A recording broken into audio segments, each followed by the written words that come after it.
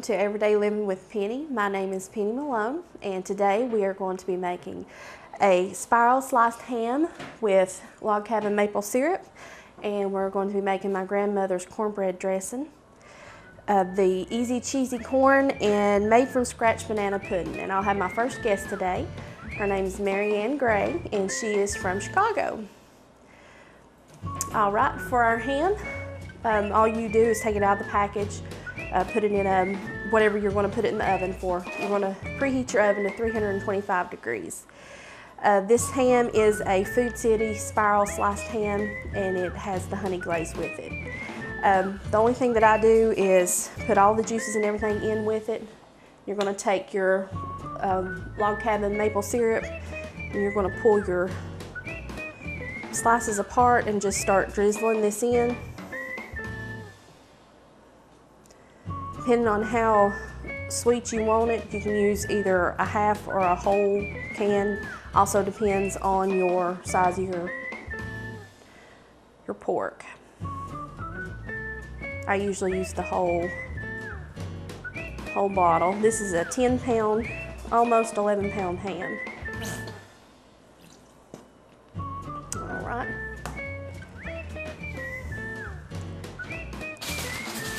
You want to cover it in tin foil. You don't want to burn the top.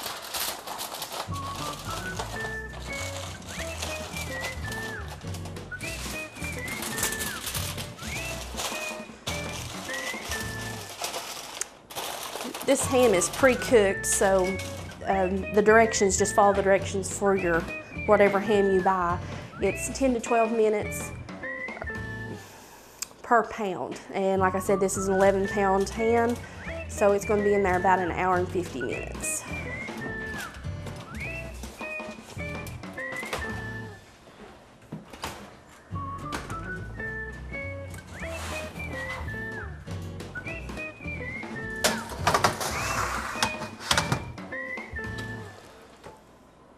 Next, we're going to be making my grandmother's homemade cornbread dressing. This has been a family tradition for as long as I can remember, and it's absolutely the best cornbread dressing I've ever had in my life. Um, you want to start with some cornbread. Uh, you can add biscuits and crackers. Uh, right now, I'm just doing cornbread. You just crumble it up into big chunks.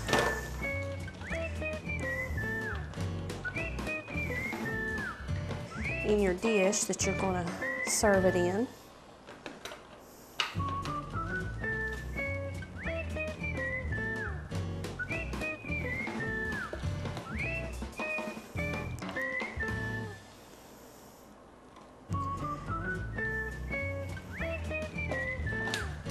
Doesn't have to be pretty.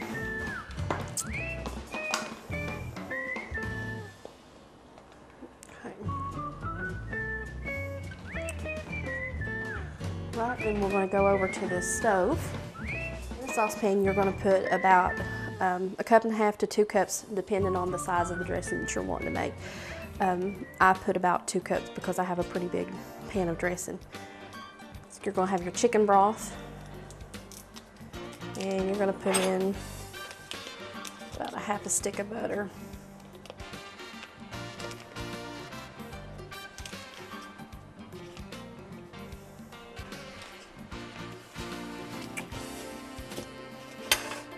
Let that get to boiling. A little salt and pepper.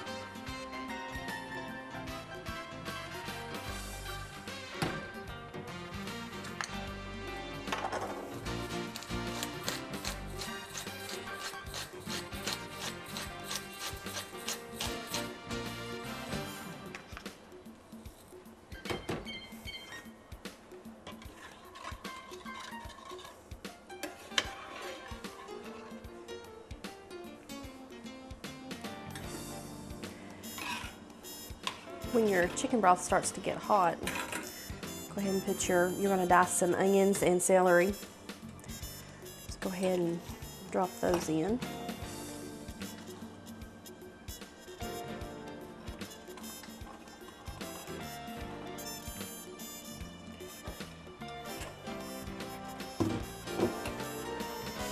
Bring it to a boil.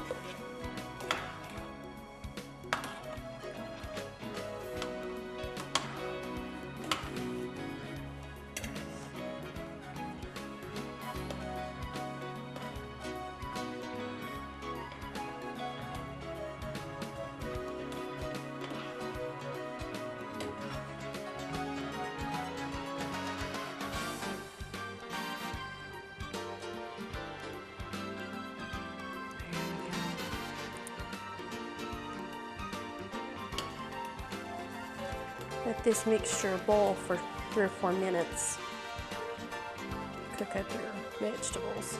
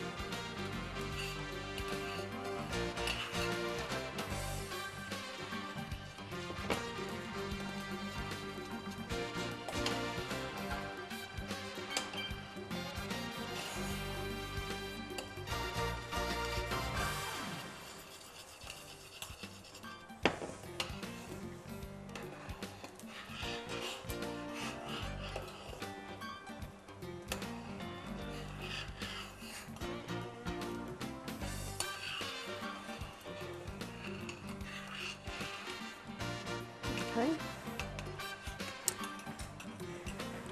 After you've got your chicken broth mixture good and hot, let it boil for two or three minutes. You're going to want to put uh, sage on the top of your cornbread. Grandmother uses dried sage that she gets out of her garden. I didn't have any at this time, so I had to use the store-bought store-bought brand. Sprinkle some on top. Of course, this is to your taste. Some people like sage, some people don't, so.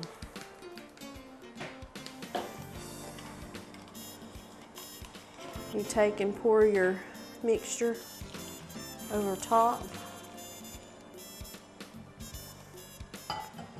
And stir it up real good. If you don't have enough breading, you can use biscuits or um, light bread or crackers. But you want to leave it a little juicy. Unless you like really dry bread, then or dry dressing, then you can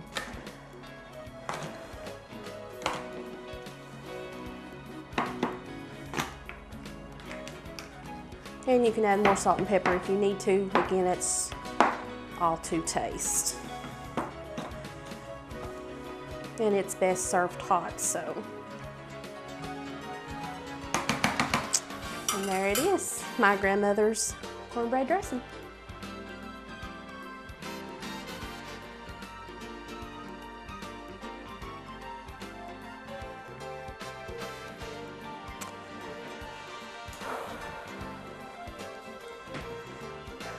Thing that we're going to be making is called uh, cheesy cream corn. This recipe was first found on allrecipes.com by Tina Carter and she made it for one of our work functions and we, of course, everybody wanted to make this recipe so we passed them around.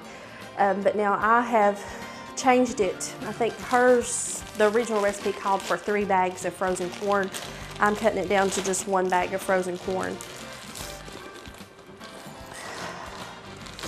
So you take your frozen corn, put it in your pot.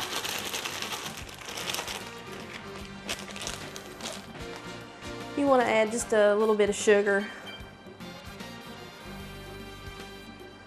maybe a tablespoon or so.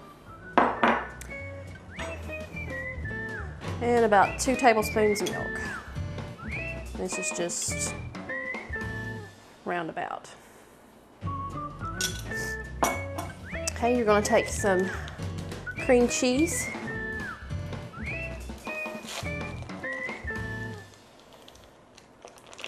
And you're gonna take about a quarter of it. Drop it down in there. And a piece of just plain American sliced cheese. Gonna chunk it up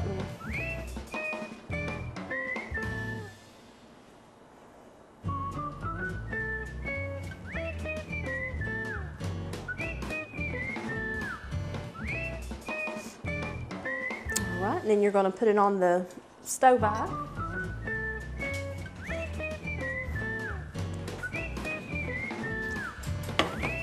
All right, I'm also going to add about um, a third of a cup of water in the bottom of this.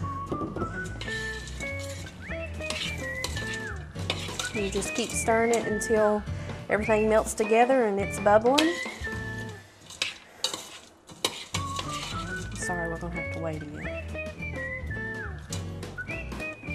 Also adding a half a stick of butter.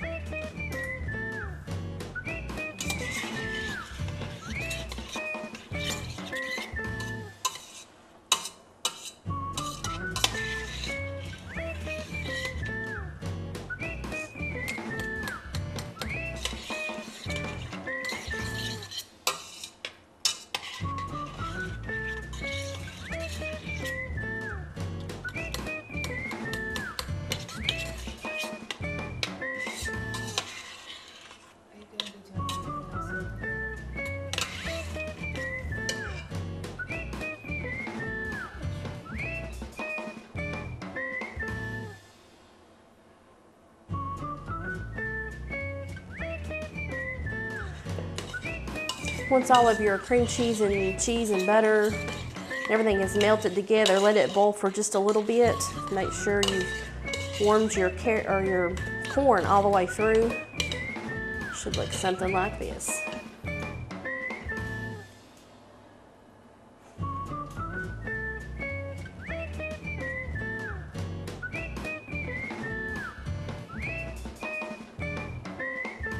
Egan Construction in Gate City is a fully licensed electrical, industrial, commercial, and residential contractor whose services include maintenance on home or corporate offices, custom designed kitchen renovations, demolitions, insurance restorations due to water dryouts, wind damage, or fire, licensed interior designing and architectural drawings, full excavations. They're licensed in Virginia and Tennessee.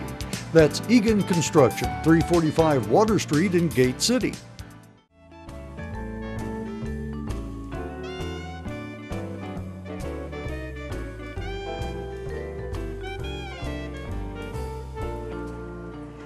Today, for the dessert portion, I have my Aunt Mary. She is from Chicago, uh, originally from Fort Blackmore.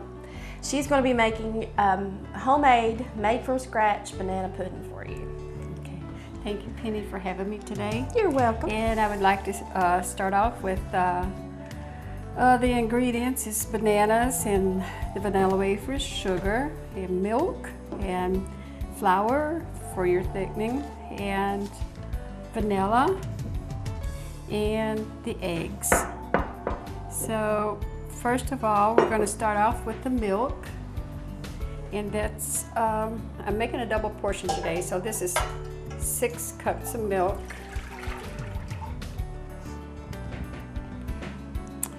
And the sugar is uh, three, uh, yes, two and a half cups. And I want to stir that and get it just to melt.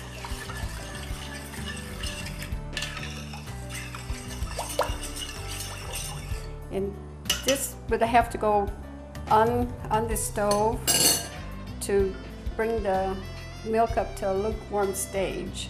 So just to get the uh, sugar kind of melted and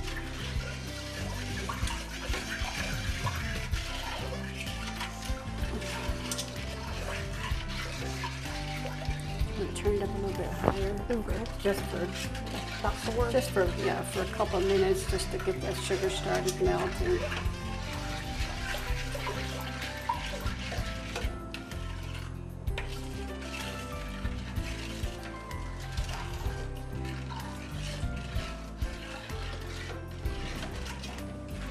It's a cup of milk. Yes. Just take a cup of of milk and put it in with the eggs. So that you'll be able to beat them with the flour. So I am putting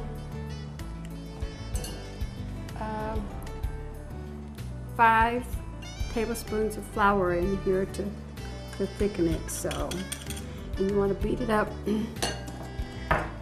to where it will be nice and smooth and no, hopefully no lumps in your pudding, okay?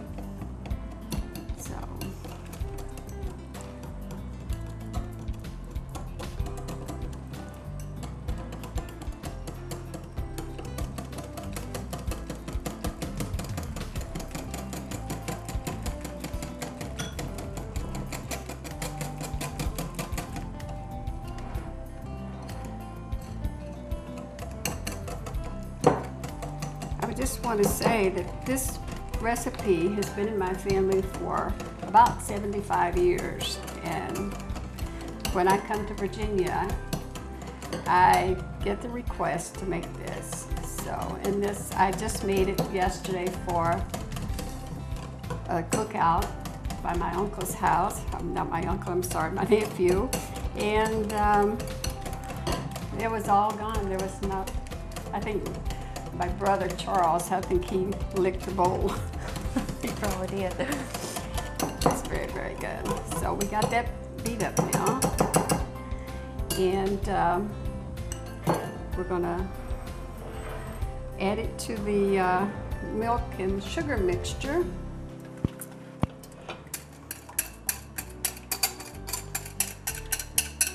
It's gonna take a while for it to, to boil. Now I want this. Okay. We're back today with our making our banana pudding. So I want to add uh, half a stick of butter. So I've already added some. So and then also um, my vanilla, and that's uh, four four teaspoons because this is a double batch. So.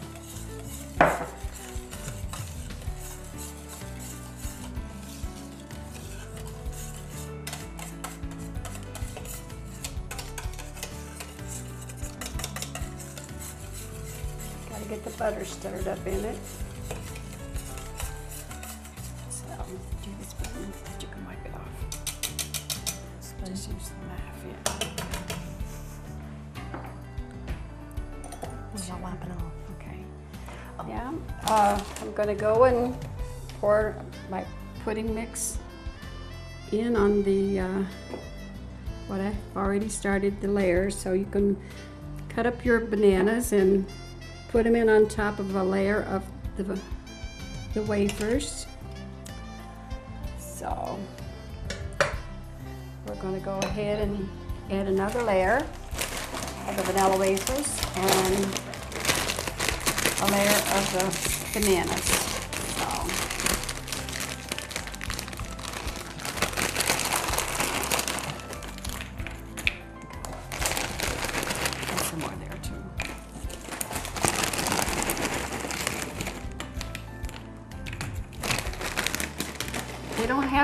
Perfect, just, you know, just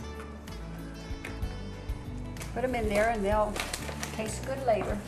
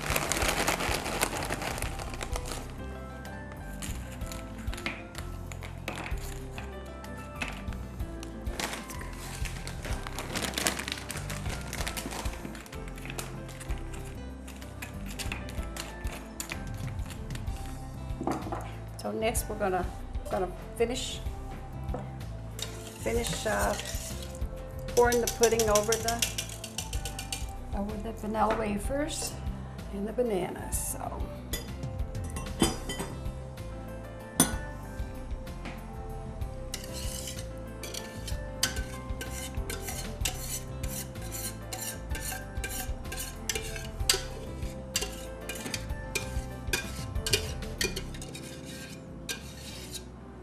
Leave us some to lick too. It's good to the last drop. Yeah.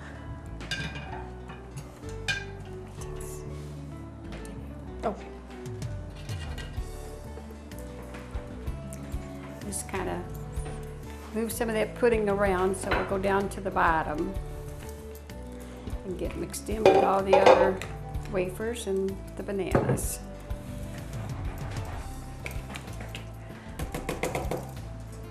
You could also, if you would like, you could put Cool Whip or do the um, egg whites, which a lot of people don't like the egg whites. know, Meringue. So the meringue, yes. And uh, so there we are. Thank you. Thank you, Penny, for having me. me. Thank you for being here. Oh, it was a pleasure. Thank you for joining me today on Everyday Living with Penny. I've uh, had fun with my Aunt Mary. I don't get to see her very often, but when I do, I always enjoy the time we get to spend together, especially if it's in the kitchen cooking, because you know it's always good. So, um, I have a few things here, a few tips to uh, tell you before we actually close the show today. Um, for a wall cleaner, uh, combine a half cup of ammonia, a fourth of a cup of white vinegar, fourth a cup of washing soda, and one gallon of warm water. Um, and when you're washing your walls, always begin washing walls from the bottom and uh, wash wash upwards. Uh, why? If dirty water runs down over the soiled area, it leaves streaks that are hard to remove. Sometimes they won't come out at all. Uh, for window cleaner, I have a half a cup of ammonia, a half a cup of white distilled vinegar, and two tablespoons of cornstarch. You add this to a bucket of warm water and it's a perfect window washing solution.